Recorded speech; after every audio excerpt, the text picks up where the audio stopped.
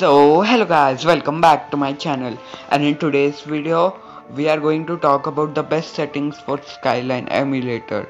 So the best settings of Skyline emulator there are no best settings for Skyline emulator but you can try the settings which are popping on your screen.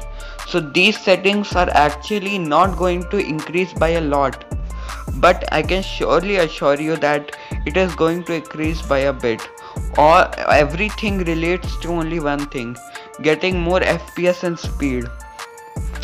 So by getting more fps the game is going to run smoother and by getting more speed the game would run even faster.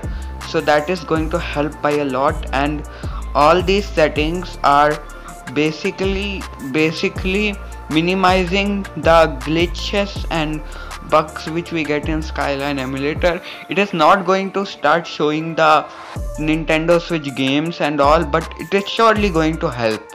So that's it guys. Thanks for watching. Make sure like and subscribe. I'll see you in the next video